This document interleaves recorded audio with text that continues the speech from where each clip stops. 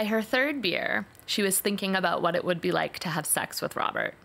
Probably it would be like that bad kiss, clumsy and excessive. But imagining how excited he would be, how hungry and e- eager to impress her, she felt a twinge of desire pluck at her belly, as distinct and painful as the snap of an elastic band against her skin.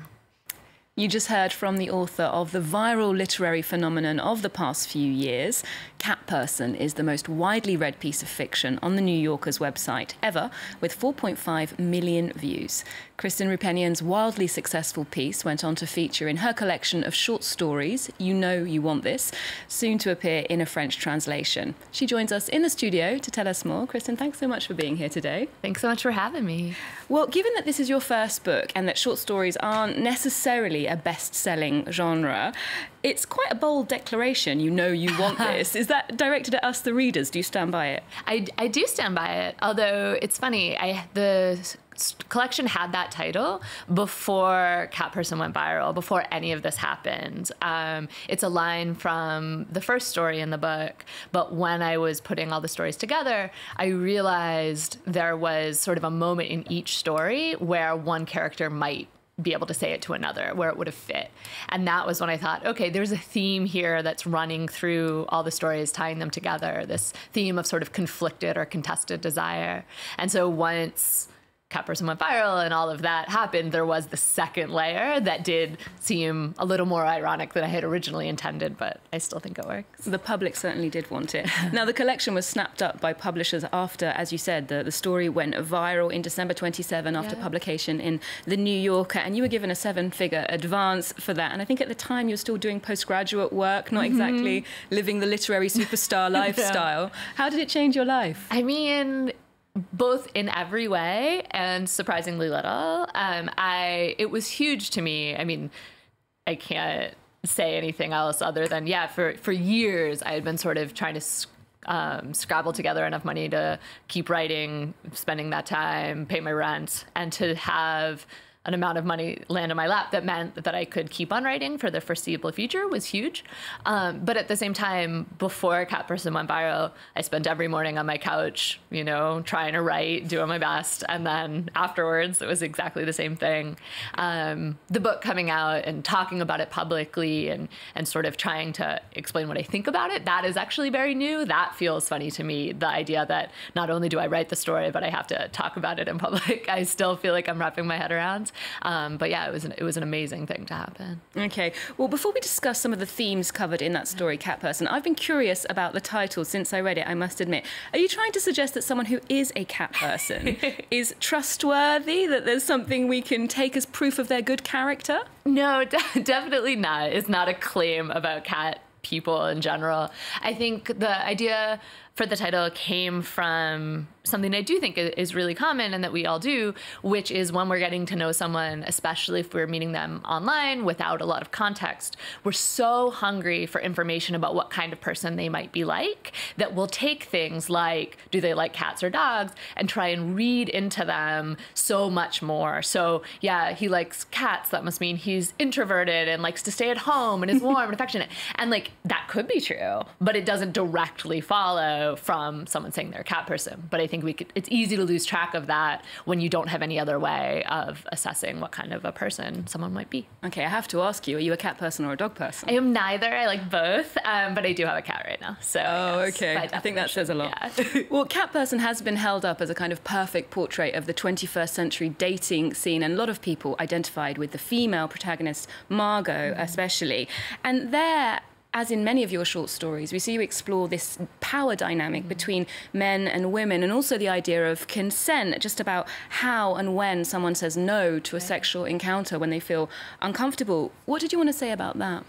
Yeah, I mean, I, I, never start out writing a story with an idea that I have something to say. It's usually I'm, I'm figuring it out as I write, and it's often sort of after the story is written and even out in the world that I start to see um, sort of if there's an argument underneath. I think it's important when we talk about cat person in sort of conversations about consent to, to be clear that I think the um, the encounter is consensual, right? Um, Margot is often the one actively moving it forward. There's never a point where she even equivocates. The question is at some point she doesn't want to do it anymore. She would like to back out and she feels like that she can't. And then the story spends some time, I think, trying to understand why. Um, and, and I do think there are a lot of possible explanations and reasons and the sort of larger context of what it means to be in a young be a young woman in the world like influences that and yet I do think there's a lot of of ambiguity and uncertainty. I think Margot herself doesn't quite know why she makes the choices she makes, which is part of the reason that um, the experience and then reading the story can feel so uncomfortable. Mm-hmm. Well, speaking of dating, Margot and Robert don't happen to meet online, but online dating does come up in You Know You Want This in a way that makes it feel very contemporary.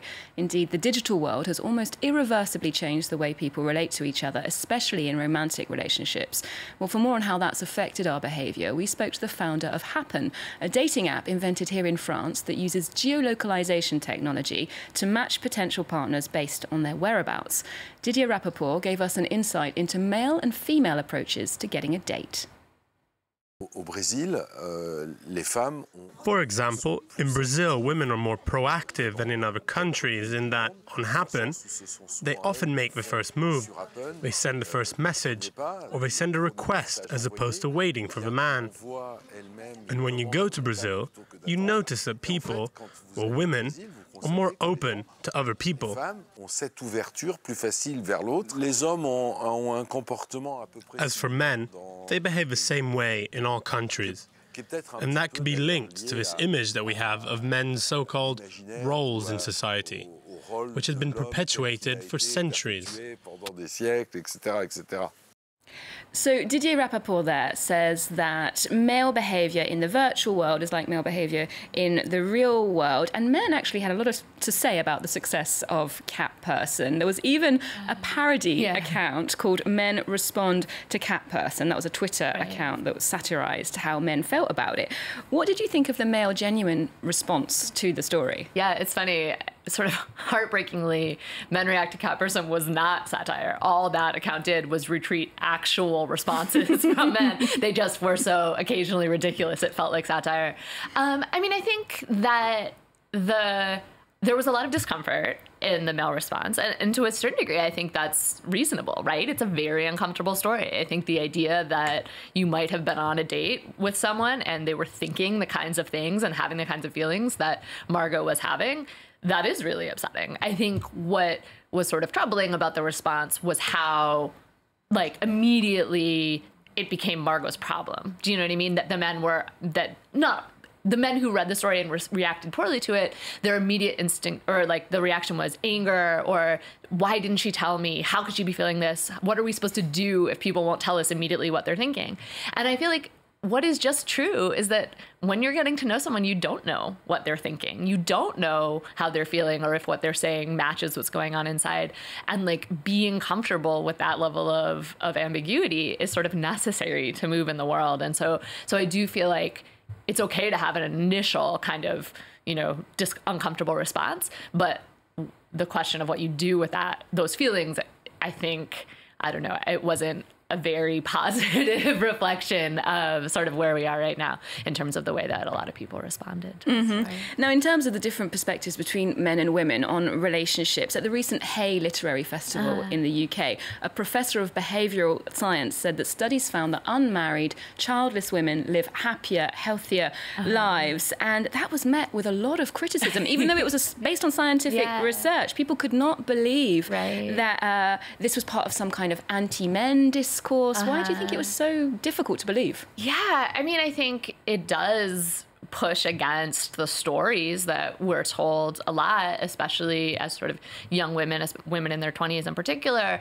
often feel, I think, this kind of pressure to move forward into the future, moving, getting married, having a house, having children, um, and there isn't a lot of talk of what about what the drawbacks are. It's almost like lock it down, get married, and then figure out like whether you actually want to be there or not. And I think, I mean, again, yeah, it, that shouldn't be true, right? We don't want, no one wants marriage to equate to unhappiness for women but i do think a little bit more care in terms of thinking about like what are the trade-offs? Where are we right now? If you know housework isn't equally being shared if having children um, you know really you know lessens your earning power when that's something that's important to you, those are things you should be considering, like while you're trying to date and when you're thinking about getting married, rather than, as I think it sometimes can be now, be like, oh, well, I'm sure that will solve it when we get to it. okay, well, sadly, we're going to have to wrap up this show. But before we do, we asked you for a cultural tip, and you recommended Booksmart, the new film from Olivia Wilde. Why did that strike a chord with you? Yeah, well, um, you know, truly being on book tour, you don't get to see a lot of movies in the theater. And so it was this really delightful moment just a week or so ago when I kind of happened into the theater and saw it. And it's just, it's a, it's a, um, I think it stars Jonah Hill's sister as a kind of like gender flipped uh, uh, Superbad. And I just found the two main characters hilarious and very relatable in that in the sense that they are people who've sort of done everything right throughout high school and then get to the end of it and are like maybe I missed the point. Maybe the point of high school wasn't just to achieve achieve achieve. And as, as a sort of overachiever in recovery I really identified with that um, that sense of like wait a second how did I get here? Why have I been spending my time the way that, that I have. And then it's just really, really funny. Oh, good advice for yeah. us all. Thank yeah. you very much. Kristen, thanks so much for joining us today. And we'll leave you with a clip from Booksmart, which is on general release here in France as well. Remember to check out our website, and you can also keep up with France 24 on Twitter, Facebook, and Instagram. There's more news coming up on France 24 just after this. Hmm. Nobody knows that we are fun. We didn't party because we wanted to focus on school and get into good colleges. And it worked. But the irresponsible people who partied also got into those colleges. We haven't done anything. We haven't broken any rules. Name one person whose life was so much better because they broke a couple of rules. Picasso. He broke art rules. Rosa Parks. Name another Susan one. Susan B. Anthony. God damn it. put me to your lips. Hand sanitizer. Check. Chapstick. Check. Mace. Listen, it is very important that you keep the safety.